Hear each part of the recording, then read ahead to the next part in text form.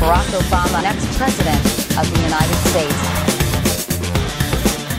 정당 기능을 복원해야 한다는 절실한 심정으로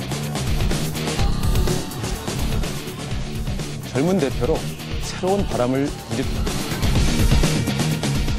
대한민국 정치의 새로운 역동성을